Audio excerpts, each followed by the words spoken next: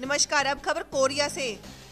पोड़ी थाना क्षेत्र के नाबालिग युवक द्वारा नाबालिगा लड़की को बहला, फुसलाकर अपने साथ भगा ले जाने के मामले में पोड़ी पुलिस ने मंगलवार को आरोपी युवक व उसके पिता को गिरफ़्तार किया।